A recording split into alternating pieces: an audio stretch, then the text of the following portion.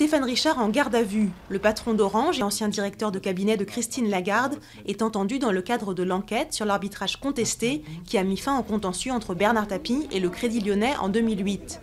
Il doit expliquer le rôle exact joué par Bercy et l'Élysée dans cette affaire qui a permis à Bernard Tapie de toucher 403 millions d'euros. Le responsable des fuites sur la surveillance d'Internet aux États-Unis sort de l'ombre dans une interview au Guardian. Edward Snowden, 29 ans, travaillait pour l'Agence de sécurité nationale. Ces derniers jours, des médias ont fait la lumière sur deux programmes secrets de cette agence. La récolte des données d'appels téléphoniques aux États-Unis et l'interception des communications d'internautes étrangers sur des réseaux sociaux. Réfugié à Hong Kong, Edward Snowden dit envisager de demander l'asile à l'Islande. Les talibans n'ont pas dit leur dernier mot. Ils ont attaqué l'aéroport de Kaboul lundi matin. L'attaque s'est terminée par la mort des sept assaillants. Bien implantés dans les provinces autour de Kaboul, les talibans montrent régulièrement par des attaques qu'ils peuvent frapper n'importe où.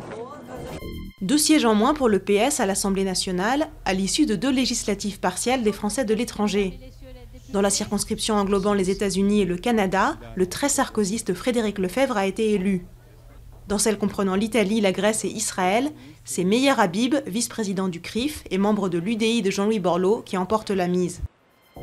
Une défaite à plate couture. Dimanche soir, le Brésil a infligé une belle correction à l'équipe de France, battue 3 à 0. Le Brésil n'avait pourtant remporté qu'une rencontre sur ses huit dernières sorties. Didier Deschamps va encore devoir revoir sa copie avant les échéances capitales de l'automne prochain sur la route de la Coupe du Monde 2014.